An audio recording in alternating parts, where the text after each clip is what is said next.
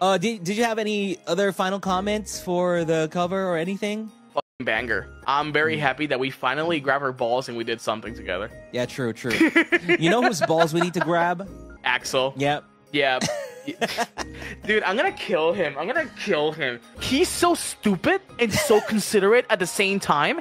It pisses me off. I'm just like, bro, this is our job. What do you mean you don't want to bother? it's like, what the f- do you mean? Yeah, do you mean? It's so funny. Uh, well, when was it? Yesterday? We, I think it's an open secret now that we are Yeah, waiting for yeah, lines yeah, from yeah, him. yeah, yeah, or yeah, waiting yeah. for a script from him, and We're then you, you keep asking him, "Give us a deadline. Give us a deadline." But then he wouldn't. like, no, he wouldn't answer. I just don't want to bother you guys. I'm just like, bro, tell me.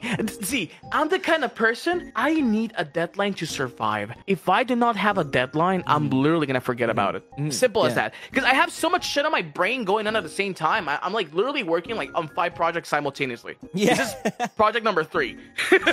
yeah, there are moments so when it's a you know, lot. yeah. when Manasan is Uh-huh. like, uh, we, yeah, we need feedback on this, but this it's not urgent. You know, you can, No, you can no, take your time. Then I'm like, please give me a deadline. No, please, tell me it's on fire, even though we have a month left. Like, Yeah. please, I, I need that. I need that sense of urgency. But Axel's so chill, bro. He's like mowing his lawn in his underwear. He's just like drinking a beer. He's just like, oh yeah, it's it's going. Yum, yum. May- Maybe Yeah. let's do this um, sometime in the Sometime, near future. I'll finish some hot pot. Don't knock your